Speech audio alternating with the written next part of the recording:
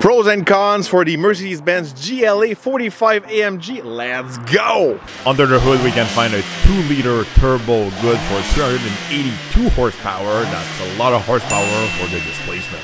We can do the 0 to 100 kilometers in 4.4 second. That's pretty fast for a subcompact SUV. Speaking of subcompact SUV, we're not sure if it's an hatchback, an SUV, or something else. So design-wise, the handling is really sharp on this GLA due to the all-wheel drive system, the 4MATIC Plus, so it's a big plus.